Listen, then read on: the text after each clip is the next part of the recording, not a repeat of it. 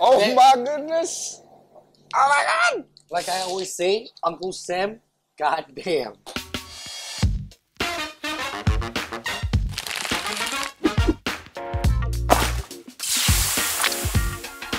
Hey guys, welcome to Cooking Up Something Good, where we recreate food experiences from iconic establishments around the world. I'm Adi, I'm Sakif, and today we're heading to Halal Guys. but before we head over to the Big Apple, we'd like to give a special shout out to our sponsors, Two Men Bagel House and Carhartt. Thank you guys so much for sponsoring this video. We love y'all.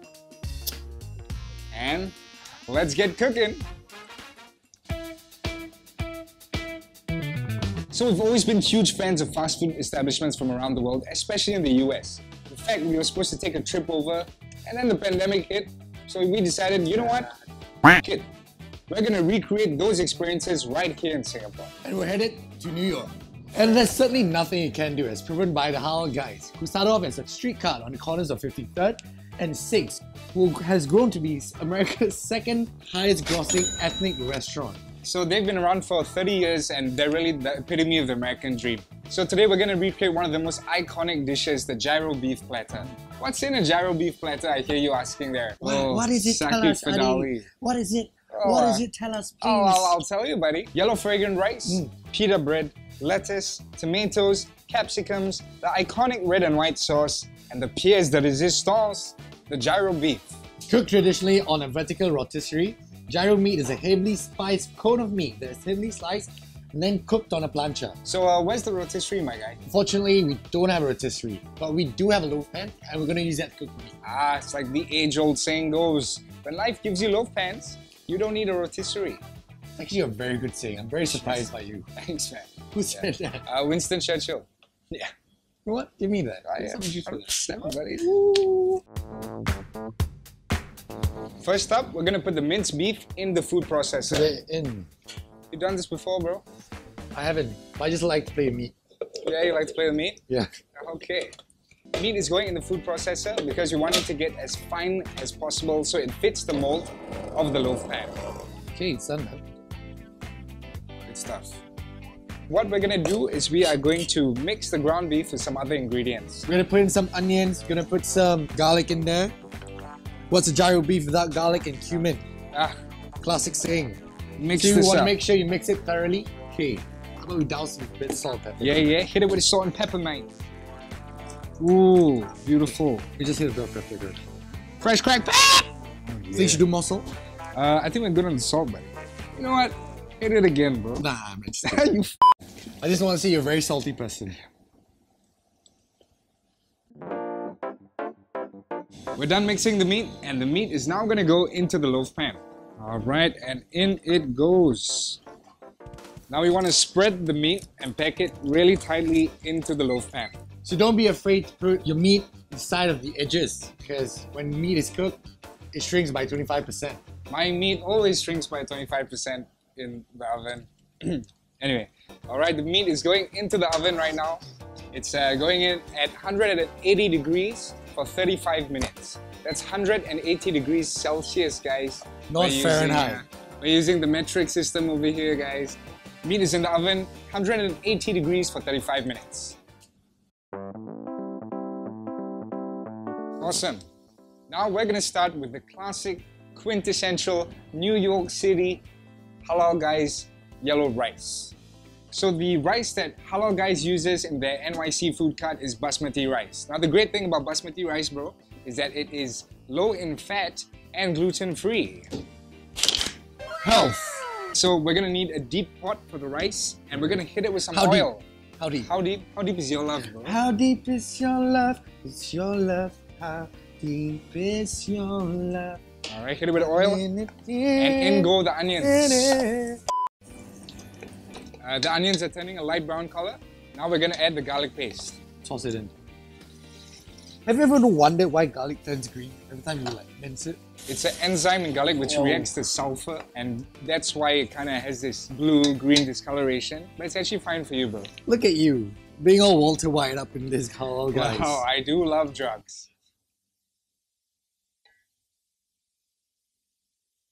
We got him. And now we're gonna add our dry spices. Cardamom and cloves. Brilliant. Cardamom sucks, by the way. What's wrong with cardamom, bro? You don't like cardamom? Yeah, man. Why not? Just hides in your rice, in like your brownie. Yeah. and it just hits you with like, eh. I like kind of sneaks in there. It's just like, eh. yeah. Yeah, I give you cardamom. Eh, eh. It's taking on a really nice color now, and I think uh, it's about ready for the rice to go in. Awesome. So what you want to do is you want to toast the rice so it absorbs all the aroma. So once the rice starts to stick to the bottom of the pan, add your stock So we're using chicken stock. If you're at home, you can use boiling cube. and give it a nice stir.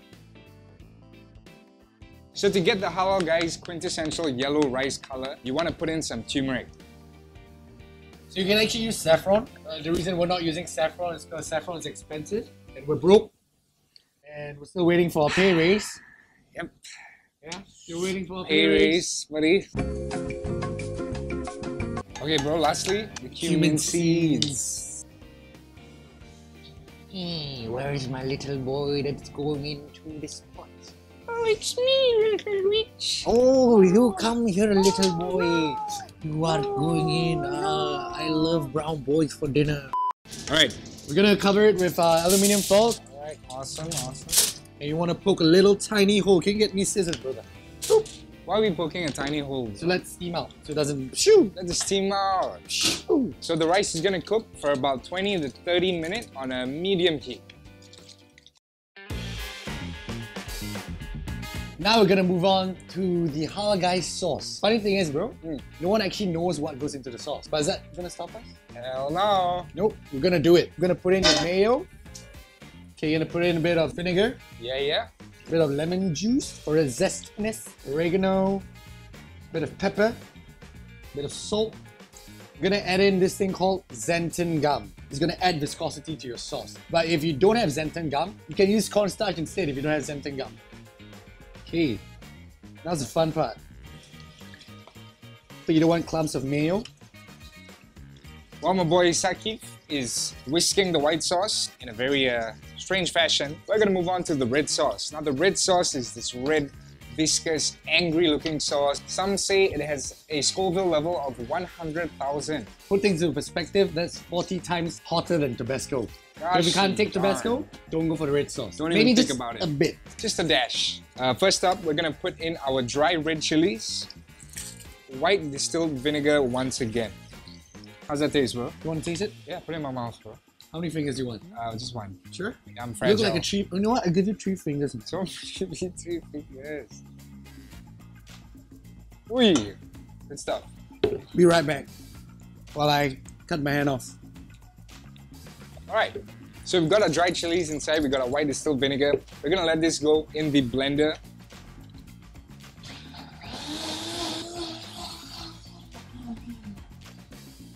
All right, the red sauce looks nice and red. Classic guy. I love you, bro. Love you too. Oh my goodness. Both in the same fe- feather play together. Okay. Now once all that's in, we're gonna add in mild chili powder. Next, we're gonna add in some paprika. Paprika. Paprika. Pa, pa, paprika. Papa. Prrrra. This is the kicker. This is some extra hot chili powder. Oops. Oops. Oops. Ah. Red hot Alright. chili. Next up, bit of uh, plastic. A little bit you. of plastic, uh, just to give it a little texture, you know. Once the uh, red chili powder is in, we're gonna add in a bit of garlic paste. And finally, once again, we got the xanthan gum. We're gonna give this another whirl in the blender.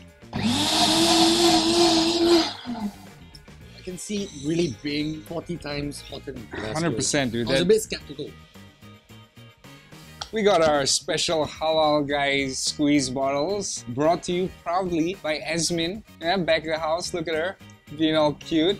Yeah, Shout out Asmin. shout out Esmin. Very Yeah. pretty. All right, and in the sauce goes. All right, you know what, bro? I'm gonna I'm gonna try the sauce again, man. How about we mix it? So you get a bit of the white. Yeah. Oh, A bit of white, a bit of red. wait. wait. Okay, I think it's, I think it's a kind of um, it's, it's like kind of kind of chili where mm. it develops. It's like a slow burn. It's like a nine month baby slowly mm. growing in yes. your tummy. Some, some might say. Okay, so what happens at the Hala guys is they thinly slice the meat on the rotisserie using like a shaver. Like an electric shaver. Like electric yeah. shaver. So we don't have that. We so we're gonna use our knife and thinly slice them.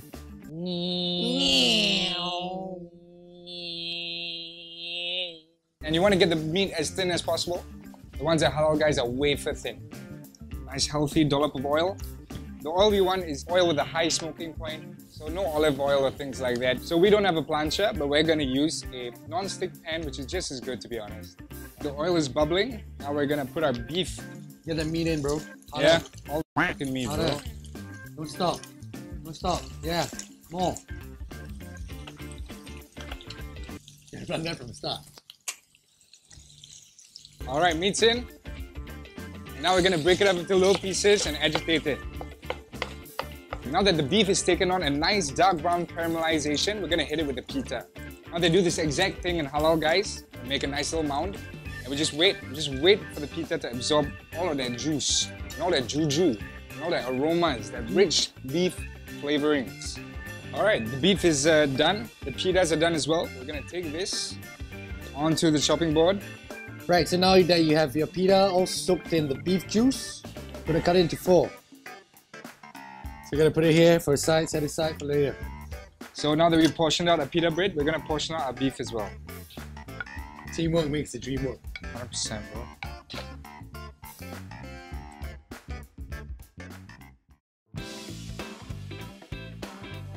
So Ro, this is where the magic happens. So we're gonna wanna see it. put the rice first. All right, let's unveil that. Hey, look at how yellow. Yeah, look at that close up. Drop the rice first. Then put lettuce because greenery is a great scenery. Let us continue. Right, some bit tomatoes and a bit of onions, peppers, and of course the pita bread has been soaked in beef juice. Mm. Beef juice. Pita beef juice. And brother man, since you've been a good sport, I'm gonna let you do the honors. Pièce de résistance, The as pièce say, de eh? resistance. Hit him with a little bit of. What? Brother Izaku, it's time for the close up.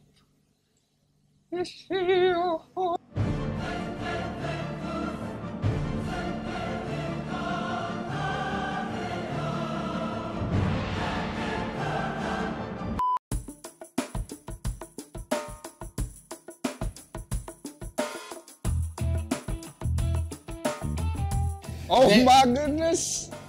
Oh my god! Like I always say, Uncle Sam, goddamn. This looks amazing, bro. Should we dig in? Yeah, bro, 100%. Let's do it. Alright, let's go. Brother man, Cheers. it's been an absolute pleasure.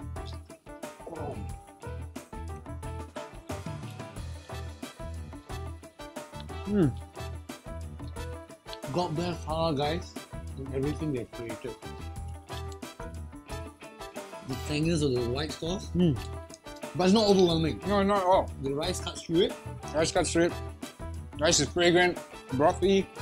You got the onions nicely cutting through all the heaviness. The spice level is perfect for me. Take a whiff of the pita bread.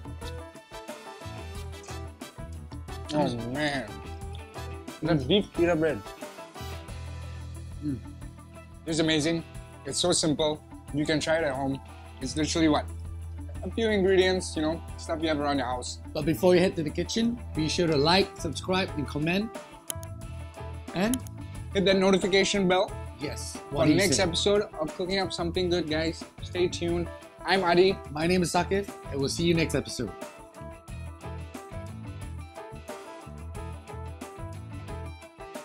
And now we're gonna start with the classic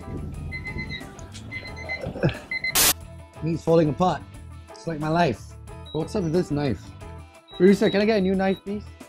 Lisa. Can I get a new knife? Lisa. In fact, we were supposed to go over before the pandemic hit, but Didn't happen. Sorry. it didn't happen. It's all good. Yeah. was yeah. Don't whisper in my ear. Yeah. The know where you've been, boy? Hey. Okay.